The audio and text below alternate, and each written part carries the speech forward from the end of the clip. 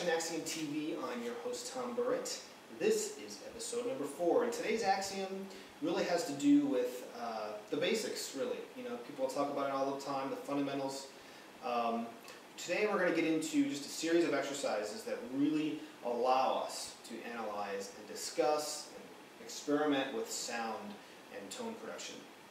Uh, on my website, my front page, I will uh, upload a PDF file that you're welcome to download take with you, copy it, use it for whatever you want to use, because uh, the next series of episodes will focus on that sheet. And I'm going to just take you through um, really what I think uh, goes into uh, a really good marimba sound. Okay. You also notice that a lot of these concepts will transfer to other percussion instruments, but we're going to utilize the keyboard mainly uh, using these.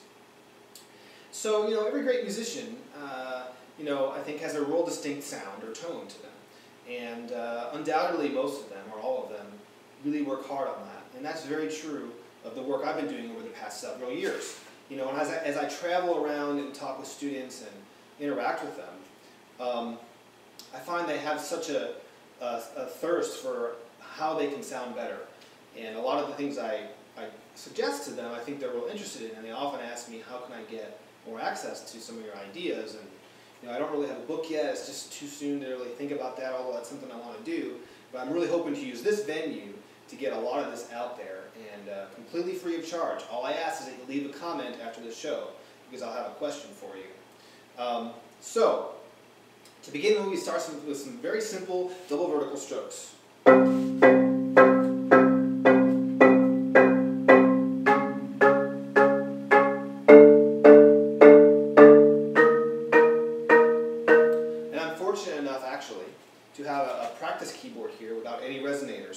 Sounds dry, that's why.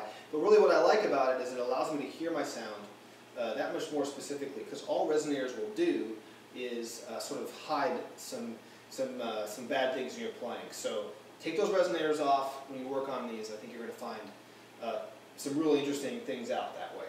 So uh, it's a very simple exercise, but how I use it actually is quite complicated. So I'm thinking about a lot of different things. I'm going to go through these real quick so we don't get too long here. But the first one I'm going thinking about is my posture. Shoulders back, gut actually out a little bit, and then chin down, looking down this way. Okay?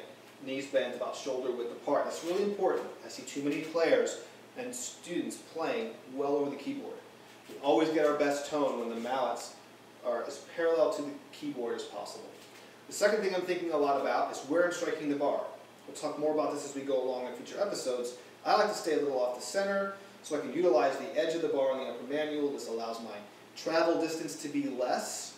It is a harder spot to hit and nail, but if I practice them every day with these exercises, it finds its way into the way I play everything.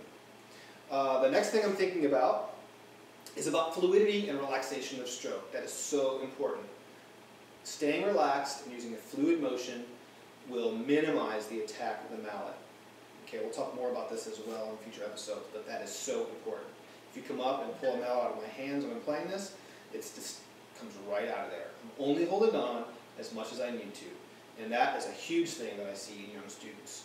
There's just this huge clenchness going on. And that brings up the whole issue of tension.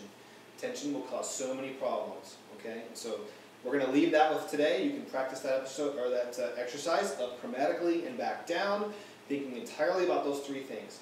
Posture, playing area, and relaxation and fluidity. I bet you'll be amazed at how little all three of those areas are happening.